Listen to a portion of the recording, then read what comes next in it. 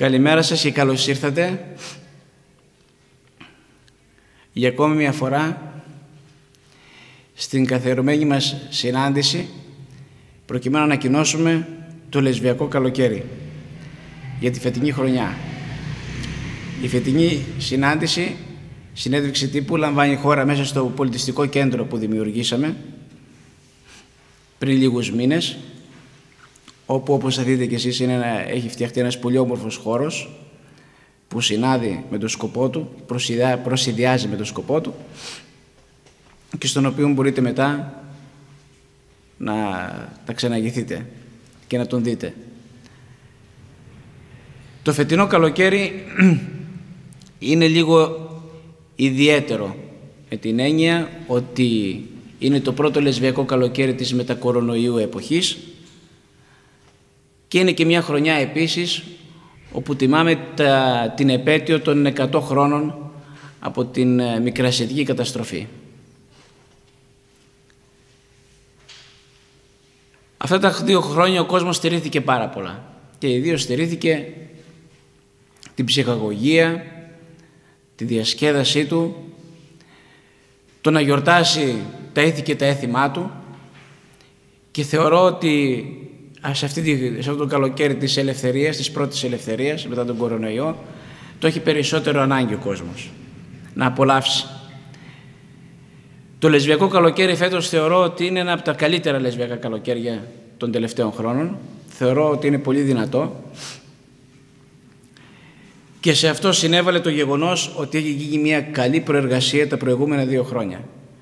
Διότι παρά τις αντικσοότητες που υπήρχαν, ενώ πολλά φεστιβάλ στην Ελλάδα ανέστηλαν τη λειτουργία τους, εμείς όχι μόνο συνεχίσαμε, αλλά θεωρώ ότι πήγαμε και ένα βήμα παραπάνω και δημιουργήθηκε, θα μου επιτρέψετε να πω, ένα καλό όνομα, το οποίο βοήθησε πάρα πολύ στο να προσελκύσει παραγωγούς και καλλιτέχνες. Βέβαια όλα αυτά μέσα από πολύ κόπο και πολύ μεθοδικότητα.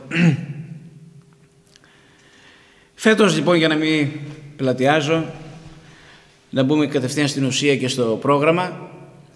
Ε, να ξέρετε, υπάρχουν πάρα πολλές παιδικές που Έχουμε, φέτος, θα, φέτος θα λάβει χώρα και στα χωριά. Μετά από πολύ καιρό.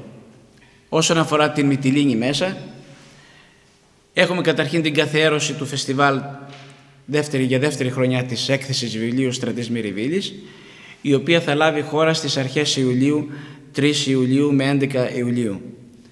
Μάλιστα στα τα εγγένεια την πρώτη μέρα την έκθεση θα εγγενιάσει η έχουσα τα πνευματικά δικαιώματα εγγονή του Στρατή Μυριβίλη Χριστίνα Αγγελοπούλου και θα δοθεί και, ένα, και ένα δρόμενο, θα γίνει και μια παρουσίαση του έργου του από ντόπιους συγγραφείς και, ε, ένα, και ένας θεατρικός μονόλογος.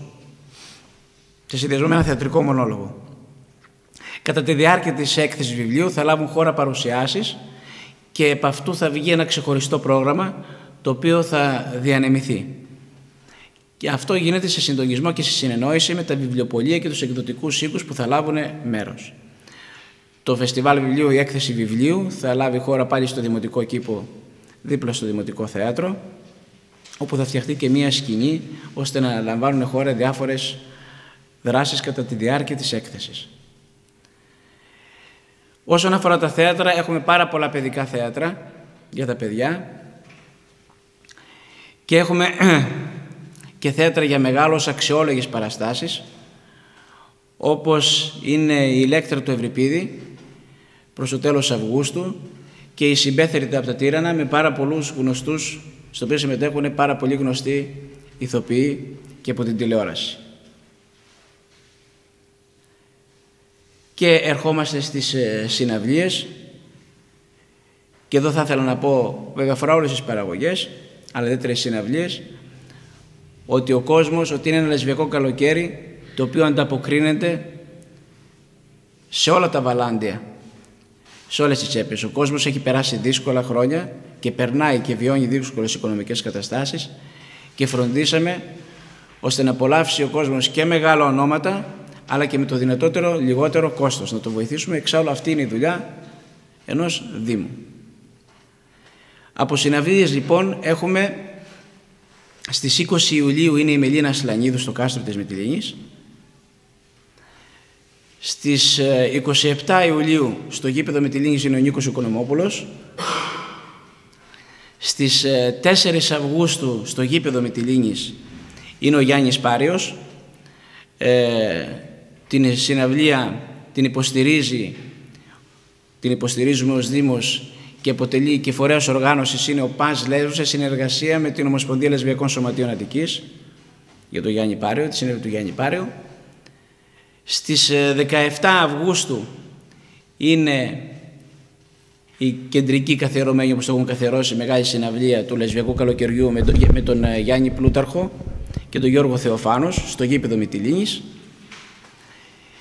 Και ερχόμαστε στις 29 Αυγούστου που μπαίνουμε όπου μπαίνουμε μάλλον στο κλίμα των, ε, της επαιτίου για τα 100 χρόνια, 29 Αυγούστου, όπου θα δοθεί μια μεγάλη συναυλία με τους αδερφούς Τσαχουρίδη στο κάστρο της Μητυλίνης, ε, με την επωνυμία μνήμη, η ίδια ακριβώς συναυλία θα πραγματοποιήσουν οι συγκεκριμένοι, θα πραγματοποιηθεί και στη Θεσσαλονίκη θα είναι η κεντρική συναυλία του Δήμου Θεσσαλονίκης για τα 100 χρόνια και την έχουμε, την παίρνουμε και εμείς στις 29 Αυγούστου. Στη Γέρα θα δοθεί μια συναυλία με την Ελένη Δήμου στο Μουσείο Βρανά, όπως θα δείτε. Και στο, έχουμε και την γιορτή Ούζου στο πλωμάρι του καθιερωμένο πάντα που, που φέρει πάντα ένα γνωστό όνομα που θα είναι ο Χρήστος Δάντης. Ε, Κάποιες από τις δράσεις, θα τις δείτε και στο πρόγραμμα που θα βγει, είναι αφιερωμένες στη Μικρά Ασία. Ε, γιατί δεν σταματάει το λεσβιακό καλοκαίρι εδώ, μπαίνουμε και στο Σεπτέμβριο. Μέσα στο καλοκαίρι, 23 Ιουλίου Σαββάτο, κάτι το οποίο το άρεσε και στην Επιτροπή που έχουμε συστήσει, την άτυπη Οργανωτική Επιτροπή για τα 100 χρόνια, θα γίνει με τους Lesbos Runners ένας νυχτερινός αγώνας δρόμου να καθαρίσουμε ο πρώτος νυχτερινός αγώνας δρόμου, αφιερωμένος στη Μικρασιατική μνήμη και θα καθερωθεί ως τέτοιος, 5 και 10 χιλιόμετρων αν δεν απατώμε, η οποίο θα περάσει μέσα από την πόλη και από τα σημεία τα οποία αποτελούν σημεία αναφοράς της πόλης, σημεία αναφοράς εκείνων των ημερών. Μπαίνουμε στο Σεπτέμβριο, όπου πέραν των άλλων στις, ε, στις αρχές Σεπτεμβρίου, 4 με 7 εάν δεν απατώμε, θα λάβει χώρα συνέδριο για την μικρασιατική καταστροφή, η οποία, το οποίο οργανώνει, επιχορηγούμε επί τούτου την εταιρεία, λεσβιακών, την εταιρεία Λεσβιακών Μελετών, σε συνεργασία και με την Οργανωτική Επιτροπή που συστήσαμε και βοηθάμε όλοι σε αυτό, ένα τριήμερο συνέδριο από εξέχουσες προσωπικότητες του χώρου, επιστήμονες και εντός και εκτός που έχουν ασχοληθεί με το θέμα και φιλοδοξούμε το συγκεκριμένο συνέδριο, τα πρακτικά μάλλον του συγκεκριμένου συνεδρίου να απομακρυνθούν και να αποτελέσουν ένα τεκμήριο για το μέλλον. Στις 7 Σεπτεμβρίου, μάλιστα, πέραν του συνεδρίου, ε, σχεδιάζουμε, θα γίνει, θα, μαζί, θα έχουμε συνάντηση όλων των χορευτικών του Δήμου Μητυλίνης, από παντού και θα γίνει μια συνάντηση όλων των χορευτικών σχημάτων, ένα μικρασιάτικο γλέντι. Ε, ο χώρος είναι υποσυζήτηση που θα μπορέσουμε να τον κάνουμε ώστε να είναι, να είναι, πιο, ε, να είναι πιο αποτελεσματική, ε, να έχει μεγαλύτερη επιτυχία. Και υπάρχει και μία πρόταση, η οποία είναι προς το τέλος Σεπτεμβρίου, από την ε, φιλοτελική εταιρεία Μητυλίνης για μία έκθεση στην ε, Δημοτική Πινακοθήκη. Ταυτόχρονα όμως θα συνακοινώσουμε ή βρίσκονται υποσυζήτηση, επειδή είναι νωρίς, ε, βρίσκονται υποσυζήτηση και άλλες δράσεις όσον αφορά την ε, μικρά σχετική, την επέτειο μνήμης, αλλά αυτές είναι οι δράσεις οι οποίες σίγουρα ε, θα γίνουν. Τις έχουμε ήδη δρομολογήσει δηλαδή τεχνικά και όσον αφορά τους προπολογισμούς και όλα τα σχετικά. Ταυτόχρονα βέβαια γνωρίζετε ότι φέτος πια θα πραγματοποιηθούν στα χωριά τα πανηγύρια, ενισχύουμε με τον τρόπο όσο στο μέτρο του δυνατού που μπορούμε και, στο, όσο, όσο μπορούμε στο μέτρο των οικονομικών δυνατοτήτων μας, όσα περισσότερα πανηγυρία και δράσεις, ό,τι ζήτησαν δηλαδή οι κοινότητες. Έτσι δεν είναι. Ζητήσαμε, είχαμε, όπως ξέρετε, είχαμε βγάλει μια ανακοίνωση, είχαμε κάνει μια πρόσκληση ενδιαφέροντος και στο μέτρο του δυνατού και του εφικτού ε, ενισχύουμε τα χωριά και τις όποιες δράσεις σε όλη την περιφέρεια του Δήμου Μητυλίνης. Από Αγιάσο, Γέρα, Πλωμάρι, Ευεργέτουλα, Γιορτή του Σίκου και ούτω καθεξής. Θεωρώ θα είναι πολύ δυνατό και όμορφο καλοκαίρι. Καλό όλο τον κόσμο, όπως μας αγκάλιασε όλα τα προηγούμενα χρόνια. Τώρα πια που είναι και μια περίοδος ελευθερίας, να δώσει το παρόν. Έχουμε φροντίσει ώστε, όπως είπα, το καλοκαίρι να είναι αυτό με το λιγότερο δυνατό κόστος που μπορούν για τόσο μεγάλες παραγωγές και για τόσο μεγάλα ονόματα που έρχονται. Αλλά θεωρούμε ότι θα είναι κάτι το οποίο θα το απολαύσει ο κόσμος. Τον καλούμε να το αγκαλιάσει όπως το έχει αγκαλιάσει τα προηγούμενα χρόνια και εύχομαι σε όλους καλό καλοκαίρι και μια υγεία. Το πρώτο είναι ποιο θεωρείτε ότι είναι το πιο δυνατό event αυτού του καλοκαιριού και το δεύτερο είναι ότι ε,